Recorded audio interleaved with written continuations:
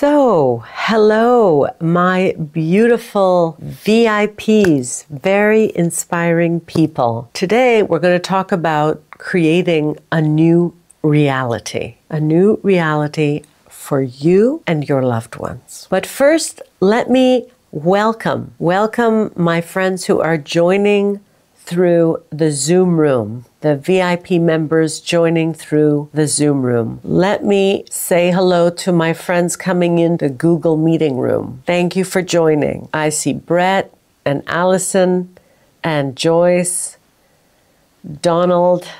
Hello, where are you tuning in from? Dubai, excellent. Deborah, Maria, welcome, my dear friends. I see Joyce in the clubhouse in the clubhouse. Janet, Andre, Sonia. Sorry if I'm missing you, but there are about 50 people in each of the chat rooms.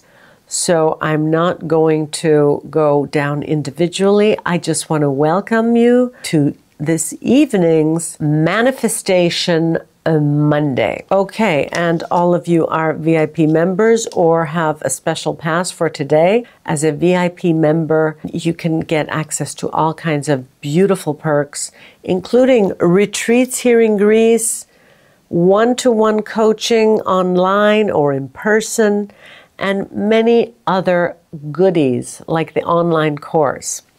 So let's go. I want to tell you something. People say to me all the time, Dr. Agio, I'm in the unknown. I can't predict my future. And I always answer them the same way. The best way to predict your future is to create it, not in the knowing, but in the unknown. So, how many people in this audience believe in the idea that the way you think has some effect on your life. I'm just curious. So I'm in the right place, right? Yes? So, all of this knowledge that you're learning this webinar, every time you learn something new, you make new connections in your brain. That's what learning is.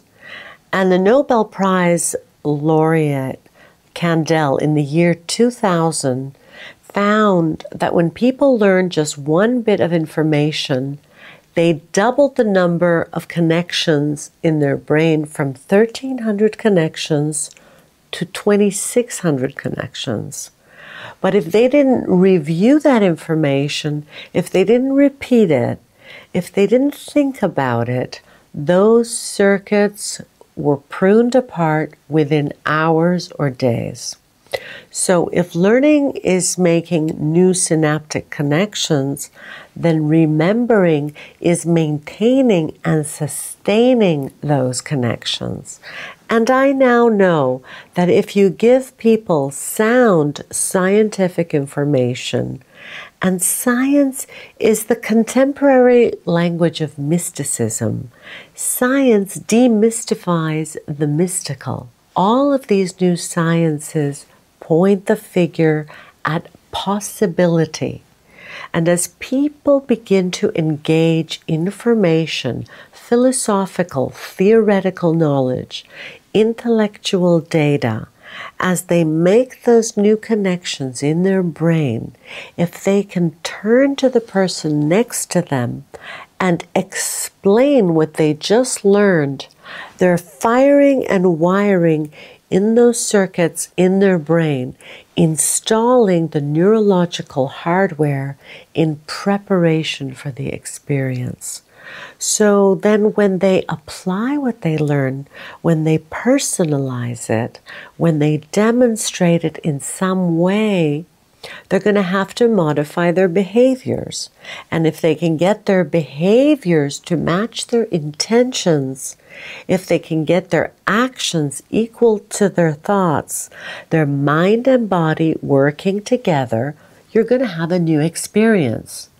And in the midst of an experience, all of your five senses plugged into the external environment.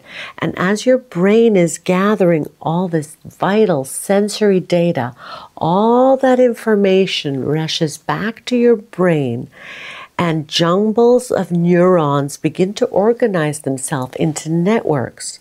the moment those neurons string into place, re-enhancing, reinforcing ideas that were made, the brain makes a chemical. Now the chemical become emotions. So now you're teaching your body chemically to understand what your brain and body has understood. You can say that knowledge is for the mind, experience is for the body. And in that moment, you're embodying the truth of that philosophy, chemically instructing your body to understand what your mind has intellectually understood. And the moment you feel that emotion, you are literally signaling new genes and new waves, and you are rewriting the biological program. But if you've done it once, it means you should be able to do it again. And if you can repeat any experience over and over again, you are going to neurochemically condition your mind and body to work as one. So when you've trained something so many times that your body know, now knows how to do it better than your mind, now you're mastering that philosophy. It's enabling you. It's second nature. It's easy, it's familiar. You've practiced it so many times that you no longer have to consciously think about it. You know how you do it, but you don't even know how you know how because that was subconscious programming.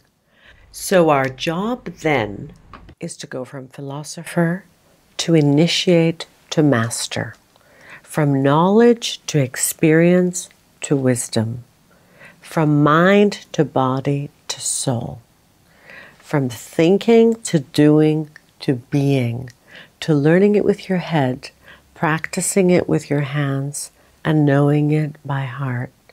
And you and I have all the biological and neurological machinery to do this. And I can tell you right now that common people around the world are doing the uncommon. They're healing themselves of fatal diseases, reversing scars and wounds that were from past experiences from their childhood or from their adolescence, or they're creating better lives and new lives and new opportunities, and even having mystical experiences that transcend language. So, what I'd like to do today is I'm going to develop concepts and ideas. And when I see you wrap your mind around that concept or idea, and you go from beta brainwave patterns that you are in now to alpha brainwave patterns, I know that you are consolidating that information neurologically in your brain. And you're going to begin to fire and wire those circuits in your brain in preparation for those experiences.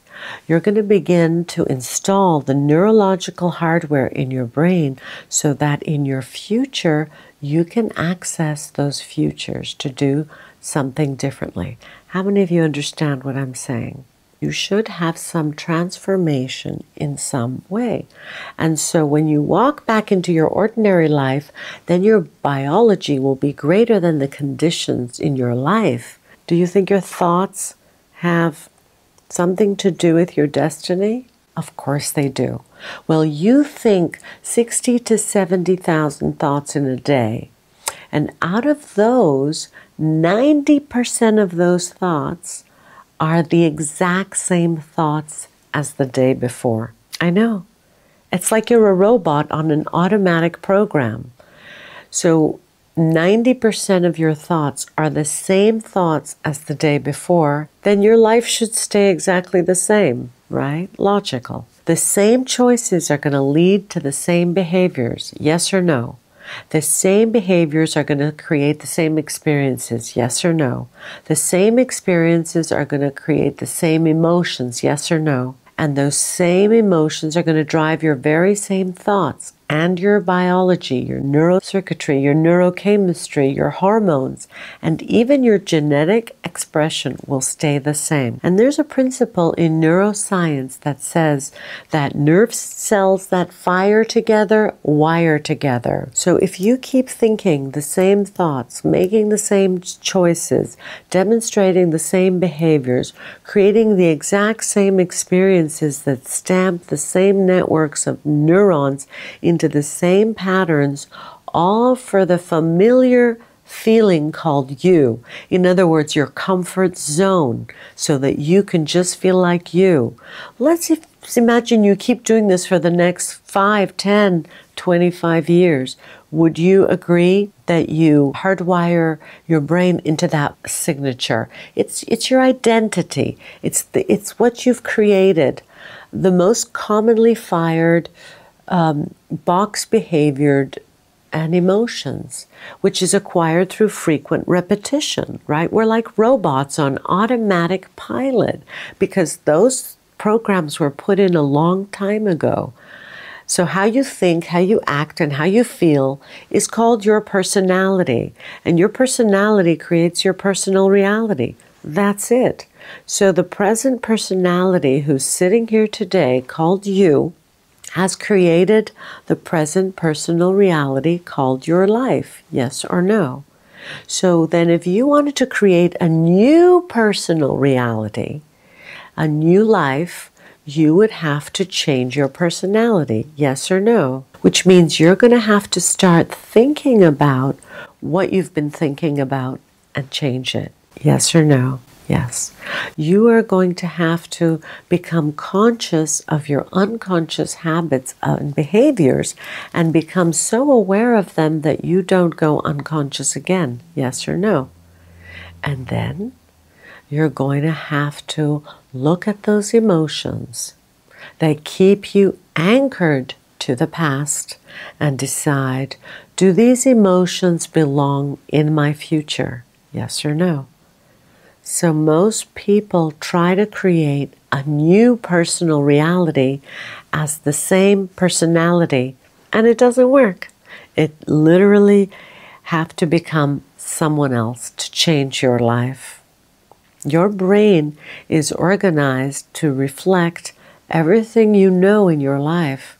Your brain is a record of the past. It's an artifact of everything you've learned and experienced till this moment. Are you with me still? So then, if you're not being defined by a vision of the future, you're left with the old circuits of your past, and you will be predictable in your life. Yes or no? Yes. And if feelings and emotions are the end products of past experiences. And we can remember experiences better because we remember how they feel.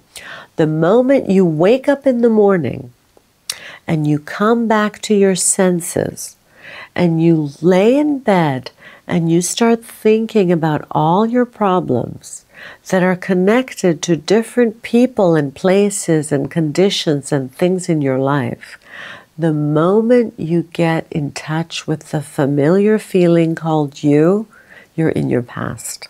And if those emotions are driving your thoughts and you can't think greater than how you feel, our feelings have become the means of thinking, then you are thinking in the past. Yes or no? You just told me that you believe that your thoughts have something to do with your destiny. And if you can't think greater than how you feel, your past is your future. Yes or no? How you think and how you feel is called the state of being. That thoughts are the vocabulary of the brain, and feelings are the vocabulary of your body. That cycle of thinking and feeling creates your state of being. Now think about this. If your brain is a record of the past, hardwired via in a certain way, because most people are thinking, acting, and feeling the same way. and they have emotions that they've become so familiar with that they don't even know that they feel guilty. It's just is how they feel. They don't even know that they're unhappy because that's how they define themselves. And if those emotions are driving your thoughts, turning on the same circuits in your brain, firing at the same exact sequence, patterns, and combinations, firing and wiring those circuits to produce certain chemicals for them to feel more suffering and more guilt, the more they the moment they feel more guilt and more suffering, wow, I'm feeling pretty bad. So they think more thoughts equal to how they feel. And the cycle of thinking and feeling creates their state of being. And the redundancy of that process conditions the body to subconsciously become the mind. And now your entire state of being is in the past. Are you with me still?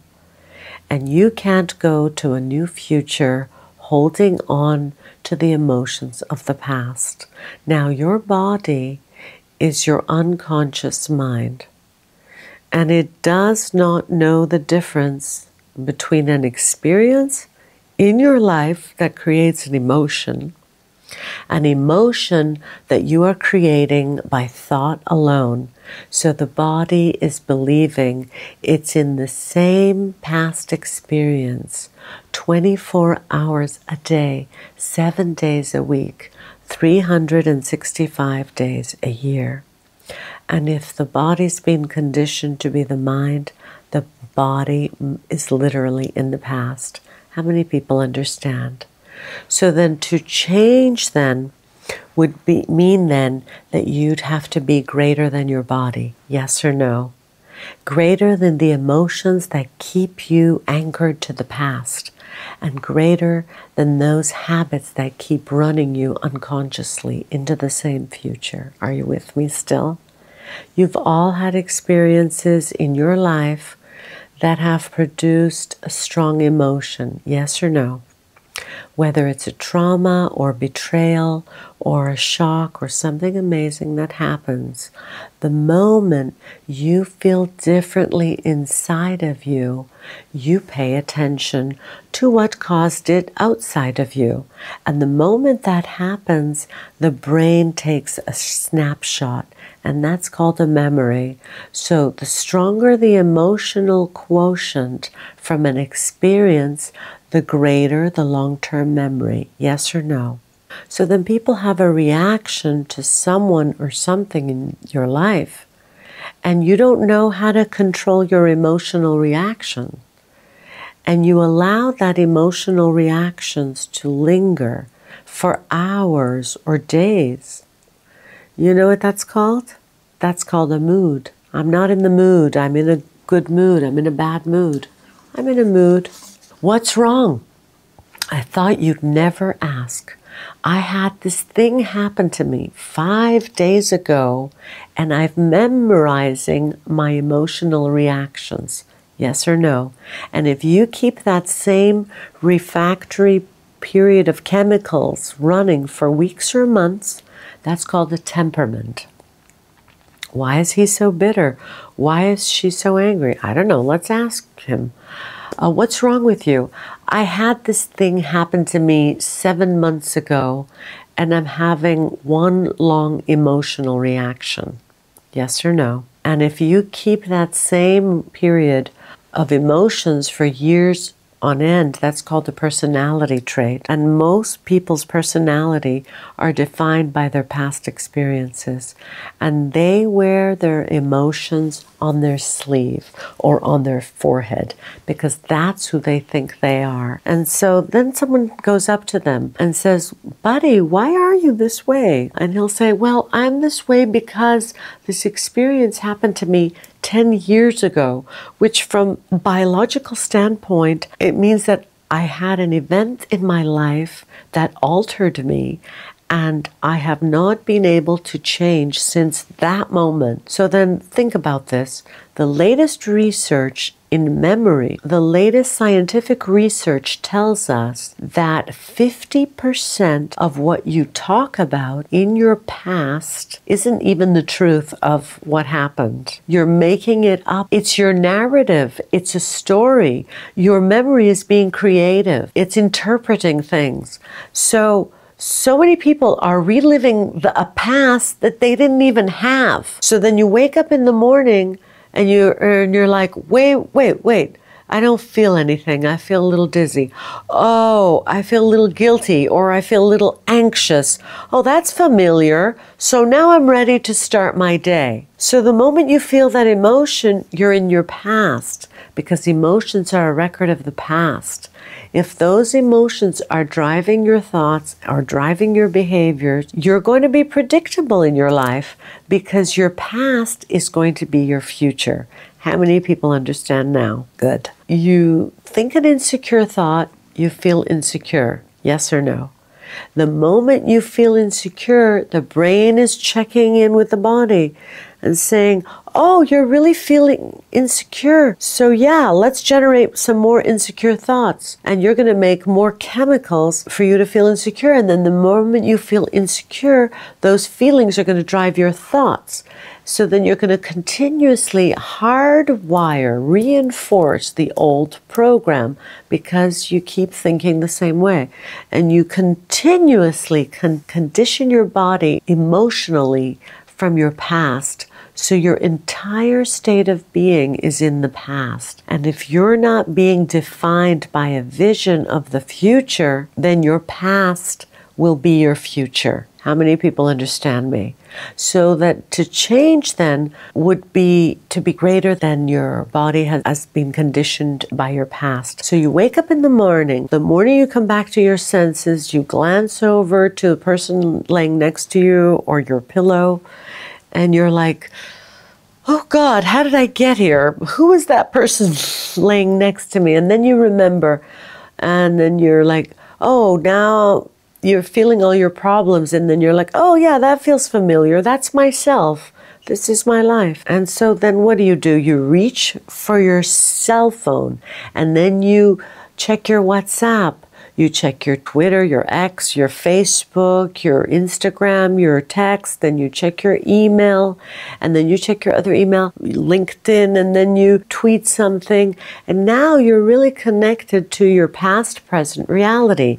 Yes or no? Then you get up out of the same side of the bed every day because you sleep on the same side. You put your slippers on, you scratch yourself the same way, you put your robe on, and you have the thought of the toilet. And the next thing you know, your body follows your mind right to the toilet. Yes or no? Your body follows your mind. You have the vision of the shower. And the next thing you know, you're naked, you're in the shower, and you're washing yourself the same routine way. And then while you're in the shower, you have this incredible vision of yourself dressed and what you're going to wear into the kitchen and you drink your coffee from your cup. And then you'll have cereal facing the same way facing the same chair with the same spoon. Or you may watch the news to remind you how bad the world is.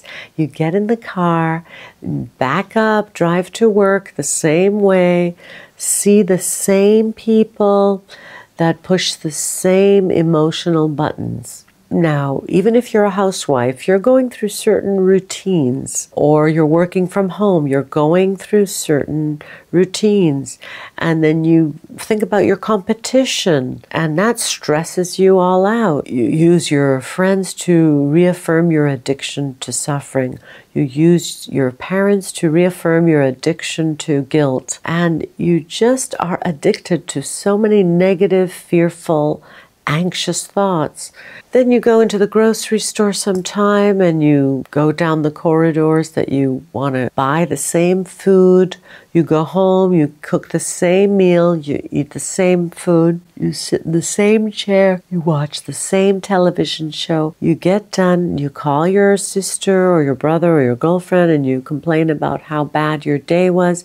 And then she complains back and, you know, you complain back to her. And then all of a sudden you brush your teeth, you floss, you get in bed and you go to sleep and you wake up the next morning and here we go again. Yes or no? So, did your brain change at all that day? No. You could say that you were thinking the same thoughts, performing the same actions, living by the same emotions, but secretly you expect your life to change. So, if a habit is uh, a redundant set of automatic, unconscious thoughts, behaviors, and emotions, that's acquired through frequent repetition. The habit is when you've done something so many times that your body now knows how to do it better than your mind. So, would you agree that the moment you wake up and you've been doing it for 20 years, your body is on autopilot and it's dragging you into a predictable future based on what you did in the past?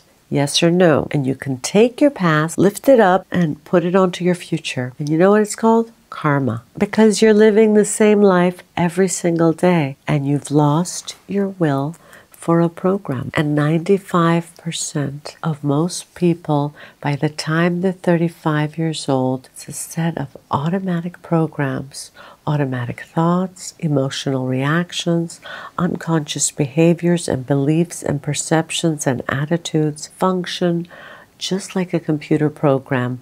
And now they're going to try to change your life with the 5% of your conscious mind working against 95% of what you've programmed subconsciously. Are you with me still?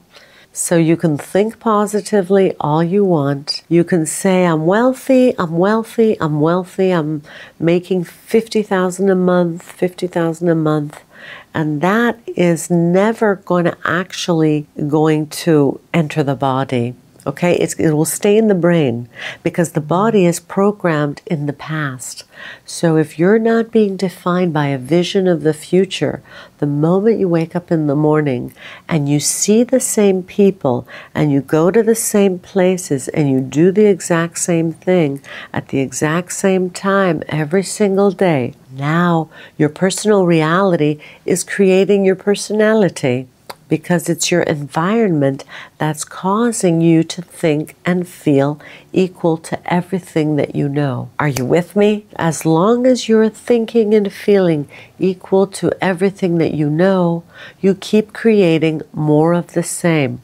How many people understand? Great. So every single person in your life, every single thing, it has a neurological pattern in your mind because you've experienced it.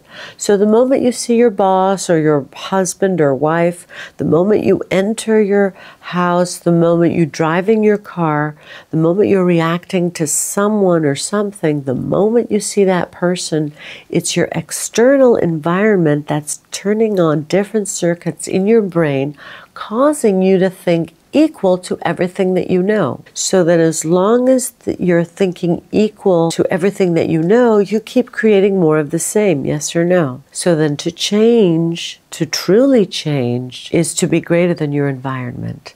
To be greater than the circumstances in your life, to be greater than the conditions in your world.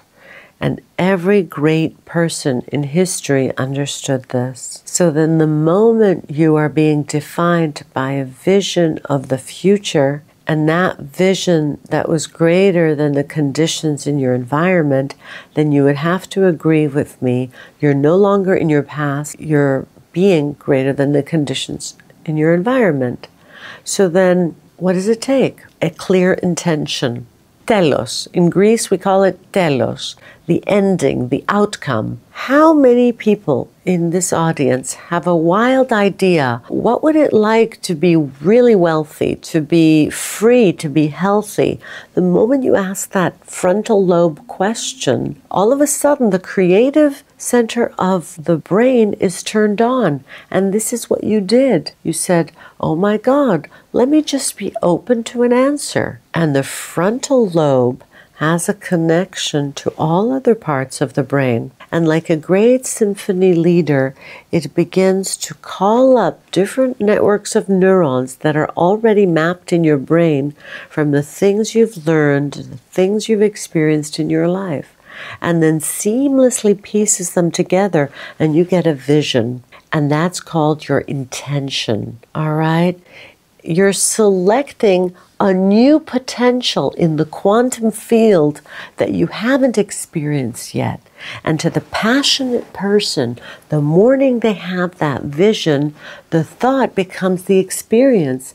And the end product of an experience is an emotion. And they start to feel the emotions of their future before it's happened. And the moment you feel that emotion, you're raising your energy and your body is getting a sampling, a taste of the future. And when you combine a clear intention with an elevated emotion, you just changed your state of being from living in your past present reality to living in your future present reality. But that's just the beginning because everybody in this audience sat down and said, okay, what choices do I have to make? Let me review them in my mind. Yes or no? Then you said, What behaviors do I have to demonstrate? What are the things that I have to do? And you reviewed those. What goals do I want to accomplish? What experiences await for me? And as you begin to write these goals and experiences down, you would start to feel more elevated, right? Just but then you did something really brilliantly. You wrote down the thoughts that you no longer wanted to think. And you became conscious of those unconscious thoughts. I can't, it's too hard. I, it didn't work in the past. I'll start tomorrow. I don't feel like it. And you became so conscious of those unconscious thoughts that they will never slip by your awareness unchecked. And then you said, What choices do I have to stay away from? And you began to become conscious of those unconscious choices that you've been making all day. And you became so conscious of them that you wouldn't go unconscious again.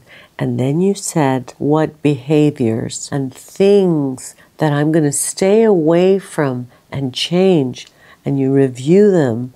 What experiences that I know that I have to stay away from in my environment and what emotions will bring me to a lower denominator.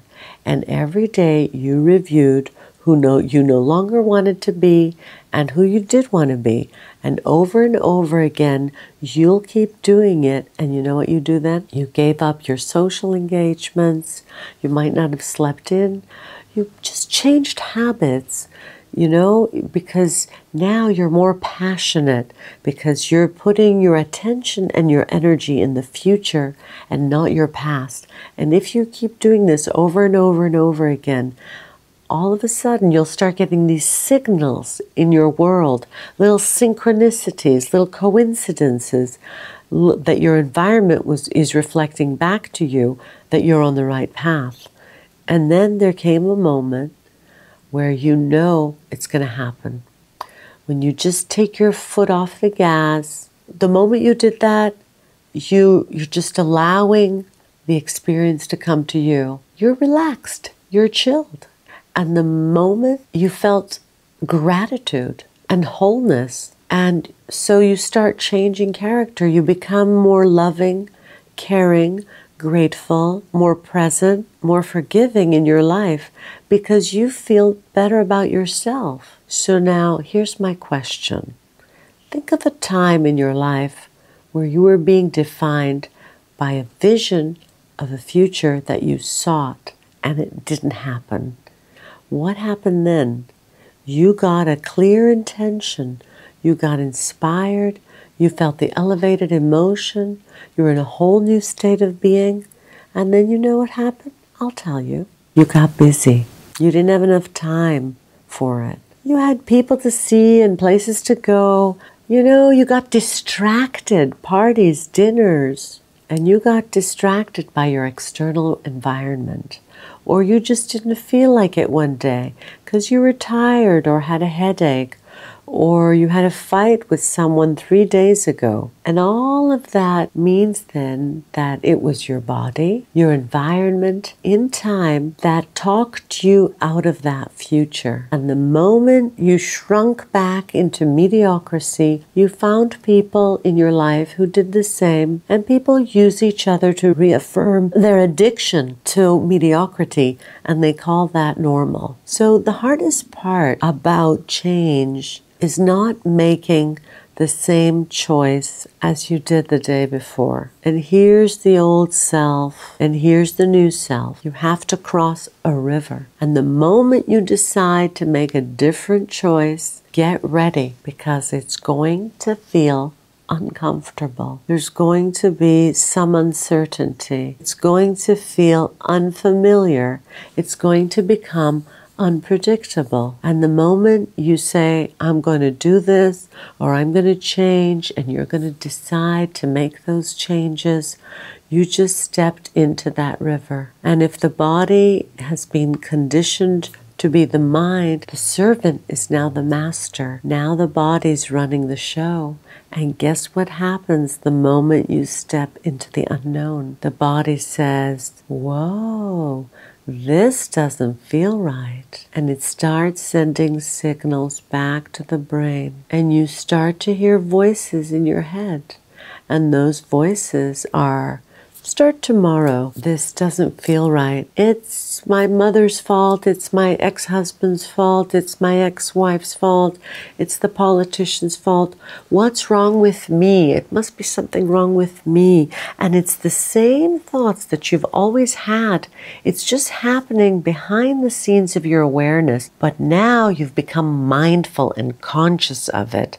And if you respond to the same thought as you always do, the same thought is is going to lead to the same choice.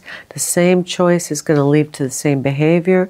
The same behavior is going to create the same experience. The same experience is going to produce the same emotion. And then people say, this feels right. This is uh, here I'm comfortable. You know, it feels familiar. Going from the old self to the new self is the neurological, biological, chemical, hormonal, genetic death of the old self. And people say to me all the time, Dr. Agio, I feel anxiety. I can't predict my future. And I always answer the same. The best way to create your future is to create it, not in the known, but in the unknown, becoming comfortable in that place is the mastery. What thoughts do you want to fire and wire in your brain and put your attention behind? What behaviors do you want to demonstrate in one day, one lifetime? And as you begin to rehearse those behaviors in your mind and you're truly present, the brain does not know the difference between the experience going on out there and the experience going on in here. And now you're installing the neurological hardware to look like the experience has already occurred. And now your brain is no longer a record of the past. Now it is a map to the future. And so then, the last part is the tough part because can you teach your body emotionally what that future is going to feel like before it's made manifest. That means you cannot wait for your wealth to feel abundance and confidence and worthiness. You can't wait for your success to feel empowerment and gratitude. You can't wait for the new relationship to feel love. You can't wait for your healing feel wholeness. You can't wait for a mystical moment to feel ah, that's the old model of reality of cause and effect, waiting for something outside of us to give us relief for the emptiness that we feel inside of us. The more we feel better inside of us, we pay attention to a new memory. In the quantum model of reality, is about causing and affecting. The moment you feel starting worthy and abundant, you are magnetizing your wealth. The moment you are empowered in a state of gratitude, you are walking towards your success. The moment you're in love with yourself and in love with life, you'll create an equal. The moment you are in awe of the moment, you're going to have a mystical experience. And the moment you feel whole and complete is when your healing begins. And that's causing an effect.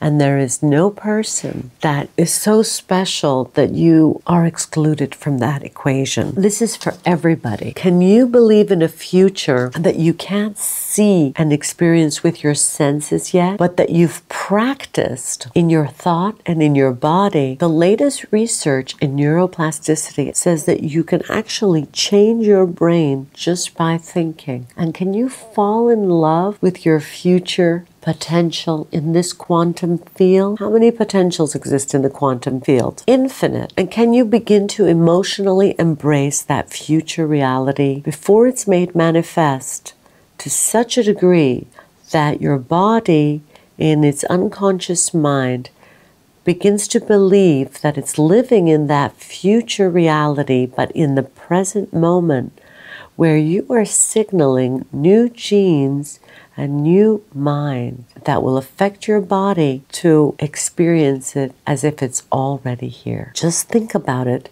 There's physical evidence in your brain and body to look like the experience has already happened.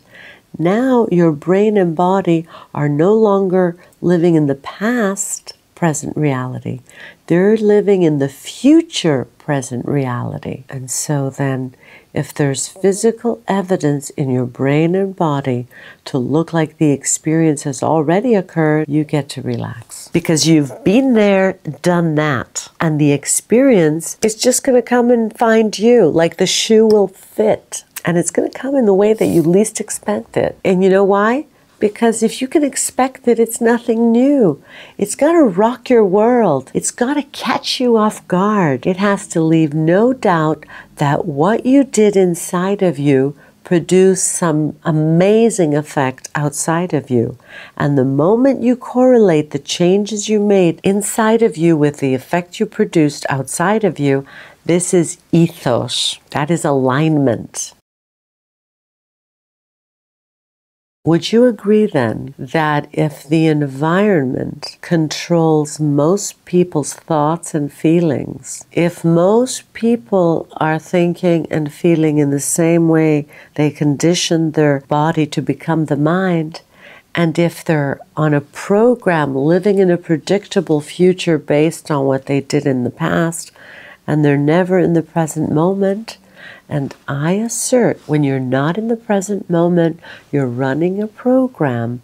Would you agree then that it might be a good idea for you when you're defining yourself as a vision of the future that you sit down and close your eyes and disconnect from your external environment? Yes or no? It's a brilliant idea. Play some music, close off so that there's less sensory information coming into your brain.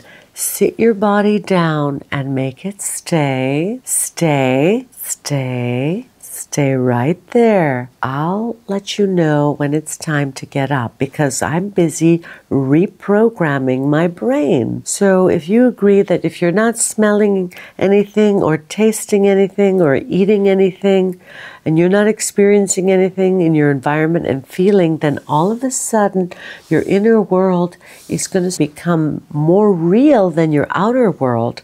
And if you can surrender your body into the present moment, then you would have to agree then that you are defining your life by thought alone.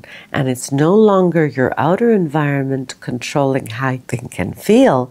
Now you're changing your inner environment to be greater than your outer environment, your body in time. Do you understand what I'm talking about it? And that's what is used in the model of change, and it's called meditation. The word is the same root as the word medicine, so it means to ponder on and to heal to know thyself, as Socrates said. But those thoughts have been happening behind the scenes of your awareness the entire time. Most people are just too distracted by their external environment. So then, if you're sitting in a meditation and you're becoming conscious and familiar of your automatic pa- patterns and behavior, what comes out of your mouth, if you're sitting there, become so conscious of those unconscious programs, you would have to agree with me, you probably won't go as unconscious again. And if you're becoming aware, oh my God, I've been suffering and feeling guilty and playing the victim for the last 30 years of my life, and I didn't even know I felt this way, would you agree that the moment you're observing those things of mind and body, you're no longer the program? You are the consciousness observing the program and you're beginning to objectify your subjective self. So you are seeing yourself through the eyes of someone else and you're disengaging from the biological program. And what if you then said, what is the greatest expression of myself that I can present to the world? What's the vision of my future? And you began to fire and wire those circuits in your brain, deciding what thoughts you do want to pay attention to, installing the hardware, sitting down and rehearsing the choices and behaviors you're going to be making in one day the act of mental rehearsal then begins to install the neurological hardware in your brain. And if you keep repeating it, the hardware becomes the software program. And all of a sudden, who knows? You may think like an unlimited person. You may act like an abundant person, a multimillionaire, a free human being, a happy human being, a fulfilled human being, a peaceful human being, an entrepreneurial human being, a creative human being. And if you kept playing this new program over and over, every day cultivating these elevated emotions and teaching your body ahead of what you would experience, ahead of the actual experience, would it become familiar to you? If you were training suffering from freedom, pain from joy, it would be easier for you to feel that way, right? So it's like you're feeding two wolves.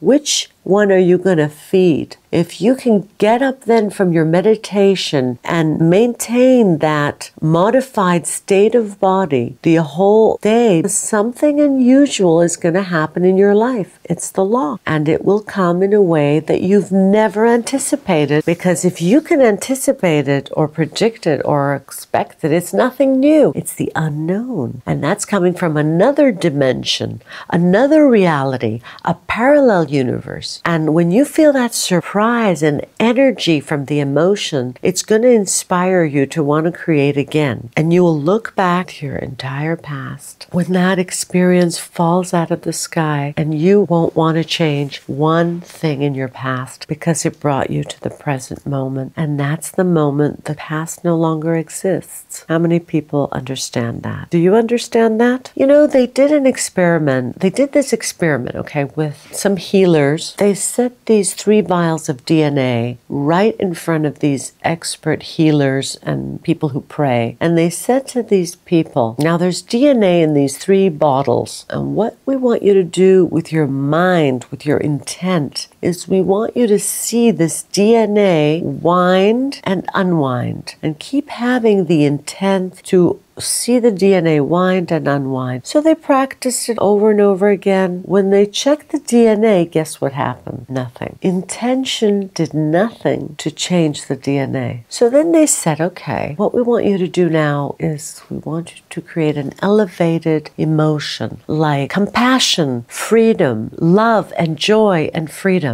Just an emotion. We just want you to radiate this energy beyond your body, beyond your body. We want to see if it will affect affect the DNA. They did it over and over and over in sustaining that elevated state. When they checked the DNA, guess what happened? Nothing. An elevated emotion did nothing to change the DNA. But when they said to them, We want you to see the DNA unwind and then get in touch with the feeling of how it would feel if it actually unwound ahead of the experience. 25% of the DNA literally unwound. You see, the thoughts that you think are the electrical charge in the quantum field, and the feelings that you emote are the magnetic charge in the quantum field. And how you think and how you feel broadcasts an electromagnetic signature that influences every single atom in your life. The thoughts sends the signal out and the feeling draws the event back to you. So then the question is, what are you broadcasting on a moment to moment basis in your life? Because if you're walking around in lack suffering, you're saying into the unified field. Oh, infinite universe of intelligence, giver of life, I am broadcasting suffering into the field. Bring me an experience of suffering. Just send it so I can suffer a little more, because that's what you're saying. So we are not punished for our sins. We are punished by our sin. And sin is an attitude, and an Attitude is how you think and feel. Are you with me? Think about this. Most people, their entire state of being is in the past and their energy is in the past. Yes or no? So then, if where you place your attention is where you place your energy, and you have all of your attention on your emotions that keep you anchored to the past, then all of your energy is in the past. And if you wake up in the morning and you start thinking about all the people you have to see and the places you have to go and the things you have to do and your known familiar reality, you'll keep your attention on all those knowns, then your attention is projecting into a predictable known future. And that means then that you have very little energy in the present moment to create because all your energy is in the past or in the future and no energy in the present moment. So then I want to talk about the sweet spot of the generous present moment because all potential in the quantum field exists in the present moment. And only when you are present in the moment will you be able to create a new future. You know when someone's present in your life because they're paying attention to you. And you know when someone's not present in your life because they're not paying attention to you. So then here is that infinite intelligence that's living within you and all around you. The quantum field, the unified field, whatever you want to call it, it's both personal and universal. It's within you and all around you. It's the very intelligence that's keeping your heart beating and digesting your food and organizing all those trillions of functions while you sit here and have a free will. It's the giver of life, but it's also the same intelligence that's creating the galaxies and the universe and causing flowers to bloom. It's personal and universal. It's within you still. It is omnipresent. Why? Because it is in a realm beyond space and time. In that realm, it is completely present. So then here it is right here. And most people's attention is on somebody, somewhere, sometime. And they're never looking towards the present moment. And that's because all their attention has been put on becoming a someone, owning something, being in some future time. So you can never have that face off or that tete a tete, the looking at this infinite intelligence, because you're simply not showing up for your date with destiny. The moment a person goes from being a somebody to a nobody, from someone to a no one, from something to nothing, from somewhere to nowhere, from some time to no time. That's the moment you take your attention off your outer world and line up in the present moment. You are pure consciousness. And now the observer is observing and saying, Oh, you're present with me? Now I can see what you want to create. If you want to hide the divine somewhere from human being, you would hide it inside of them. Now, even the scientific knowledge says that with thousands of brain scans, we know that the moment some people, we are us, get outside our ego, outside that personality, and opening your heart, and this has been measured thousands and thousands of times, when you have a coherent brain and a coherent heart, you're changing your whole electromagnetic field. I would start each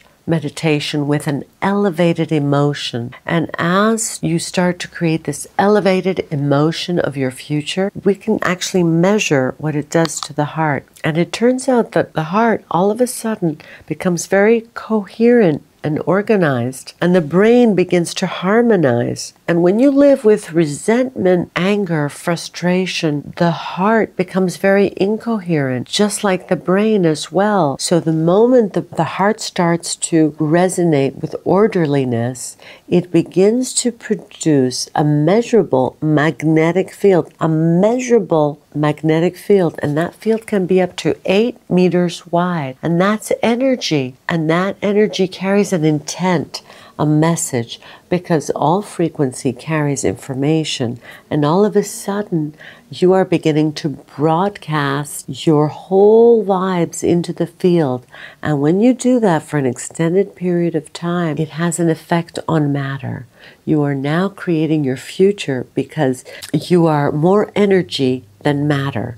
You are more wave than particle. So, what's the biggest reason they give up on their dreams? Because of the hormones of stress. And stress is when your body is knocked out of homeostasis. Stress is when your body is out of balance. And the stress response is what your body innately does to turn itself back to order. A deer, for example, is in the woods and it notices a pack of wolves coming. The moment the deer perceives a threat, it mobilizes an enormous amount of resources to take care of its body, right? It's getting ready. It's tapping into these vital resources. It begins to produce a rush of adrenaline of chemistry to, to be able to run, fight, or hide. All these juices are pumping. The heart rate increases, the respiratory rate increases, the blood is sent to the extremities, glucose is mobilized, and now the body is tapping its vital resources in its environment. Yes or no? That's great for the short term because if a deer can outrun the wolves, it will go back to grazing 15 minutes later and returns back to balance. Human beings have those same exact mechanisms, but what if it's not a predator? What if it's just your coworker or your mother-in-law who's sitting next to you, who you've had some tough experiences in the past with? Would you agree that we usually just turn on those stress responses as we have in the past, and now you can't turn it off? This is going to cause illness and sickness and dis-ease in you if you keep doing this over an extended period of time. Those hormones of stress are very addictive. The most addictive substance. The body gets a rush of adrenaline. The brain gets a rush and people get addicted to the emotions of stress, aggression, hatred, fear, anxiety, worry, guilt, shame, suffering. And you use the conditions in your life to reaffirm your emotions. You need the bad job. You need the poor relationship. You need the difficult circumstances in your life because it makes you feel something. So, if the hormones of stress are highly addictive and people use the conditions in their environment to reaffirm their addictions to these emotions, is it possible they've become addicted to their the life that they don't even like? Now listen to this. We can turn on the stress response just by thought alone because of the size of our brain. In other words, out of the infinite potential in the quantum field, people will select the worst case scenario when they're living in survival. The moment you select that worst case scenario in the future, you emotionally embrace it. Like, I'm going to be homeless, I'm going to die poor, I'm going to die alone. And what happens is you're thinking of this worst case scenario, you're knocking off your equilibrium. You're destroying your immune system. You're sending these chemical signals to your body because it's in the past or in the worst case scenario, future. So you're turning on stress response just by thought alone. And the hormones of stress are highly addictive. People become addicted to their own thoughts. Yes or no? It's a scientific fact that the long term effects of the hormones of stress downregulate genes and create disease. So then, if we can turn on the stress response just by thought alone, and those chemicals of stress push the genetic button that create disease, is it possible that your thoughts can make you sick? So then, if your thoughts can make you sick, is it possible that your thoughts can make you well? So then, when you and I react to some condition in our the external environment, we draw from this invisible field of vital energy surrounding our body and we turn it into chemistry and the field around the body begins to shrink. Now we become more matter and less energy, more particle and less wave. And the moment you feel more like matter, every single time, people will always try to control, predict, and force outcomes in their life and fight for results because they are matter trying to change matter, not energy trying to change matter. So these very chemical of stress make us more materialist because if we can't see it, if we can't hear it, we say it doesn't exist. And because people spend so much of their time living in survival, it makes sense that they're focusing on matter and they're not paying attention to the wave of possibility. Are you with me still? So then, under the hormones of stress, we try to control everything in our life and every single person, every single problem, every single thing, every single place has a neurological network in our brain.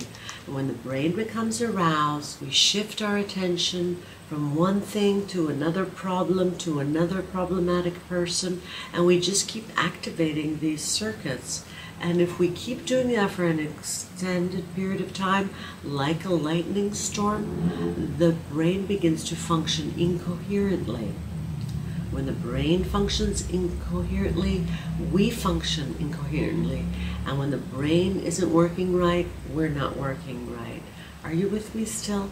And then people switch their brain on into emergency mode and now they can't switch it off. No new information can enter the nervous system that isn't equal to the emotion that they're experiencing.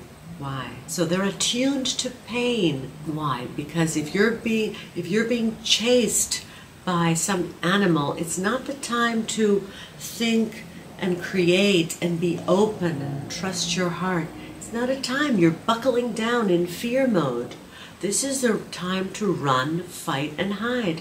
And people spend their majority of their life that way. How many people understand? You understand what I'm talking about? You're living in fear mode, and you're addicted to fear mode. We live in a realm, in this three dimensional reality where there is infinite space. How big is space in this three dimensional reality? It's eternal, it's infinite. So then we experience time by moving through space. So if I'm going to walk from here to the wall, it's going to take me a certain amount of time to get there. Yes or yes? So if people are living as materialists, defined by their body, defined by their space and time and their bodies, it makes sense that they will reach their goals. Yeah, they will get that mansion, but it's going to take them 30 years to pay it off. Yeah, they'll get the new relationship, but they're going to have to go on Match.com and look at body car parts over and over again and go on a lot of dates and finally find the right person. And then, of course, then they'll have the dream to buy the house, but then they got to get the right job. So then they have to put in their resumes and go on a lot of different interviews to settle for a job they don't even like. And all this is going to take time. And at the end of 30 years, they'll pay it off, but they'll be too tired to enjoy it because it takes time in this three dimensional reality. What if then, if a person has the ability to live in the present moment, be in their heart, and all of a sudden, instead of thinking about the predictable future or remembering of the past, they labored for the present moment. What if then, instead of narrowing your focus on the problem, on the threat in the external environment, you were able to take your attention off of the matter, off of objects and people and things, and find the generous present moment and go from a someone to a nobody, from someone to no one, from something to nothing, from somewhere to nowhere, from sometime to nowhere. That would be the moment that you would begin to disinvest your energy out of this three dimensional reality, and all of a sudden now you become pure consciousness. And as you begin to move through the eye of the needle and become nobody, no thing, nowhere, and no time, to disidentify with their ego if you keep surrendering into the unified field, field. You'll go from somebody to nobody into the consciousness of the universe from the consciousness of just your little ego to the consciousness of everyone and everything, from the consciousness of something to the consciousness of nothing, to the consciousness of everything, from the some consciousness of some time, specific time, to every time, to infinite time. Isn't that the quantum field, the unify field? This is it you melt into God, in, into this infinite field of information that's beyond space and time. And when you create from that place, you no longer have to go anywhere to get it. In fact, when there's a vibrational match between your energy with some potential in the quantum field, you will collapse time and you will draw the experience to you. Because as Einstein said, the field is the sole governing agency of the particle, and energy affects matter.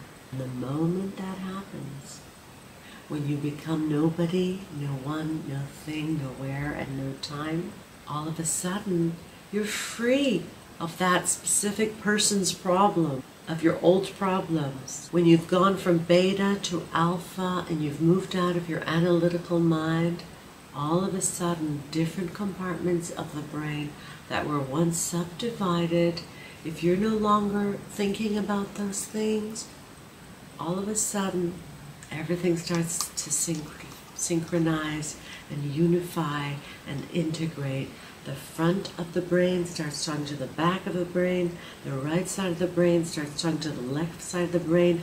You have hemisphere synchronicity. And what syncs in the brain links in the brain. And all of a sudden, the brain starts moving into this psychic field.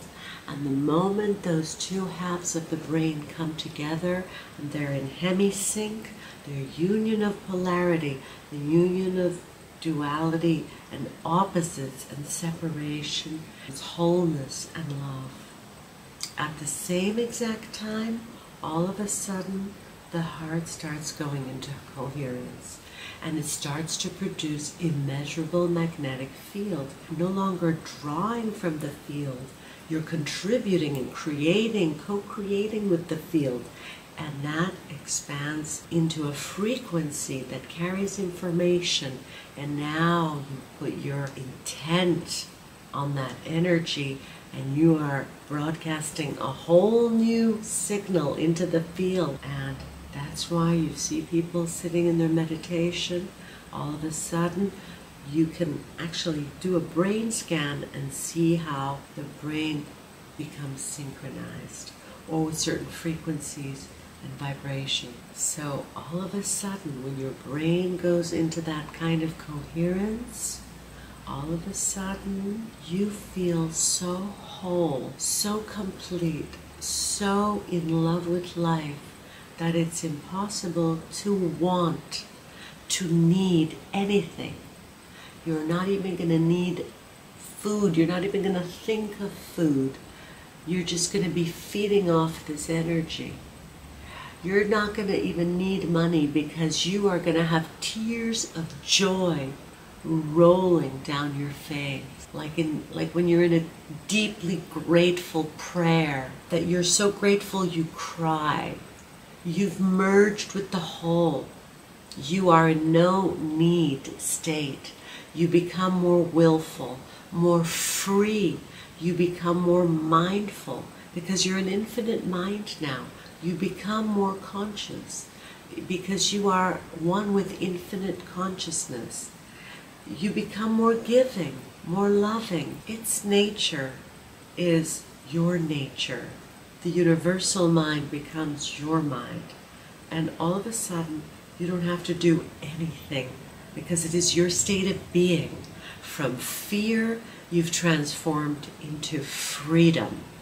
And when you're in this beautiful state, everything just comes to you easily, effortlessly. So, my dear friends, I think it's time for you to go practice your meditation, your mindfulness.